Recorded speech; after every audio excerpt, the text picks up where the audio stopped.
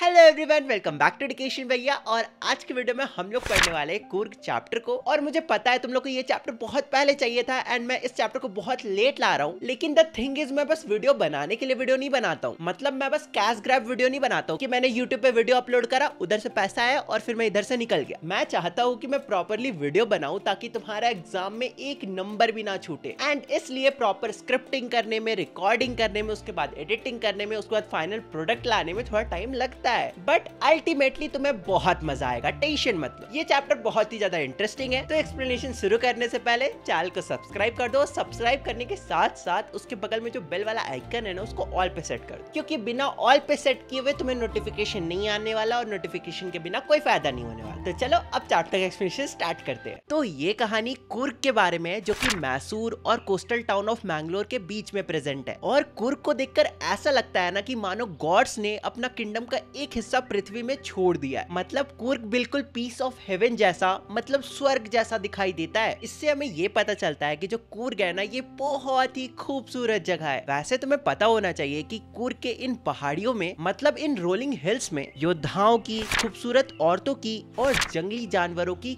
कोई कमी नहीं है। वैसे जिन्हें नहीं पता कुर्ग को कोडागू भी कहा जाता है और ये कर्नाटका में लाई करता है मतलब कर्नाटका में और ये जगह रेन फॉरेस्ट स्पाइसेस और कॉफ़ी प्लांटेशन के लिए फ़ेमस है। और मैं तुम्हें बता दूँ कि कुर्ग का 30 परसेंट हिस्सा रेन फॉरेस्ट है। हाँ तुम सही समझ रहे हो। पूरे कुर्ग का थ्री ज़ीरो थर्टी परसेंट हिस्सा रेन फॉरेस्ट है। वैसे बचपन से मैं भी चाहता था कि मेरा घर जंगलों के बीच में होता, कितना मज़ा आता, कितना ग्रीनरी होता, कितना मज़ा आता। हम लोग ट्री हाउस में रहते रोज सुबह जंगल के अंदर जाते और फल फ्रूट्स तोड़ के लाते और ताज़ा ताज़ा खाते। पर फिर मैं धीरे धीरे बड़ा हुआ और उसके बाद मुझे रियलाइज़ हुआ कि मैं बहुत ज़्यादा कोढ़िया हूँ और मैं जंगल में एक दिन से ज़्यादा सरवाइव नहीं कर पाऊँगा। खैर, वापस टॉपिक पे आते हैं। फिर ऑथर हमें बताते हैं कि मानसून में कुर्ग में घूमने आना एक सही ऑप्शन नहीं है। लेकिन सितंबर से मार्च के बीच में कुर्ग को विज़िट करना बेस्ट टाइम होता है। एकदम परफेक्ट वेदर होता है हल्की हल्की बारिश हो रही होती है और साथ ही में फार्म से आती हुई वो कॉफ़ी की खुशबू, आह!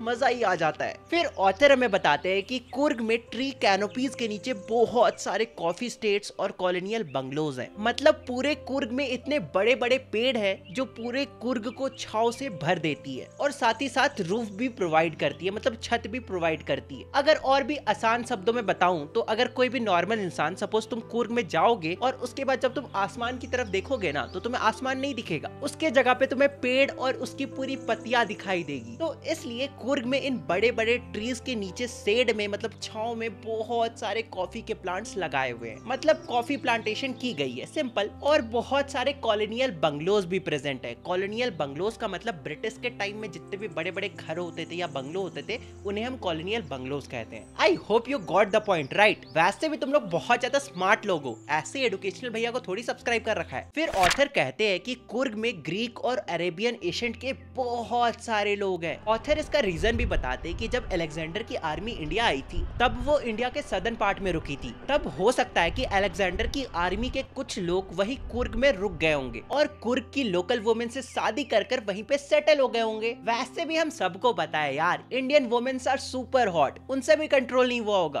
अरे हम फिर मुद्दे से भटक गए। चलो कंटिन्यू करते हैं। तो आगे ऑथर बताते हैं कि इसलिए कुर्ग के जो लोगों का कल्चर है वो हम हिंदू लोगों के कल्चर से थोड़ा डिफरेंट है। आई I मीन mean, बहुत ज़्यादा डिफरेंट है। और इसलिए जो कुर्ग के लोग हैं, वो बहुत ज़्यादा डिफरेंट टाइप ऑफ़ ड्रेस पहनते हैं। जैसे long black coat with embroidered waist belt और ये जो ड्रेसिंग स्टाइल है, ये अरब और कर्ट्स के लोगों से बहुत ज़्यादा मिलता जुलता है। इसलिए थोड़ी देर पहले ऑथर कह रहे थे कि जो कुर्ग के लोग हैं, वो ग्रीक और अरेबियन जैसा दिखाई देते हैं। मतलब ग्रीक और अरेबियन एशियंट के लगते हैं। वैसे कुर्ग में रहने वाले लोगों को कुडावूस भी कहा जाता है, ये नाम याद रखना। वैसे कुर्ग के जो लोग हैं ना, वो बहुत ही ज़्यादा हॉस्पिटेबल है और विजिटर्स का बहुत ही अच्छे से स्वागत भी करते हैं। और जैसा कि मैंने तुम्हें स्टार्टिंग में बताया था कि जो कुर्ग के लोग होते हैं, वो बहुत ज़्यादा योद्धा टाइप के होते हैं और बहुत ज़्यादा ब्रेव होते हैं। इसलिए तुम्हें कुर्ग के ऑलमोस्ट हर घर में टेल ऑफ़ विलौर सुनने को मिल जाएगी। टेल ऑफ़ विलौर का मतलब होता है ब्रेवरी की कहानियाँ, क्योंकि कुर्गी लोग बहुत ही ज़्यादा ब्रेव होते हैं सिंपल सी बात है। और इसलिए first chief of Indian army जो थे ना, वो कोई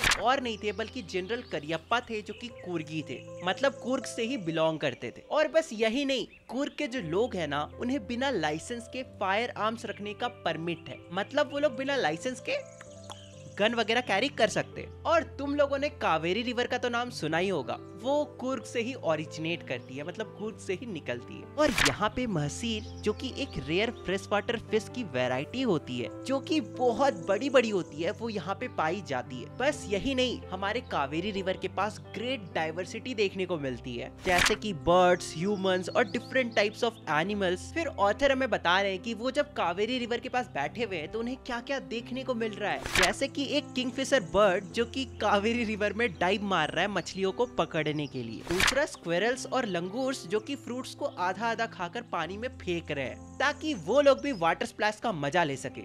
क्यों सारे मज़ा हम ह्यूमन से थोड़ी लेंगे?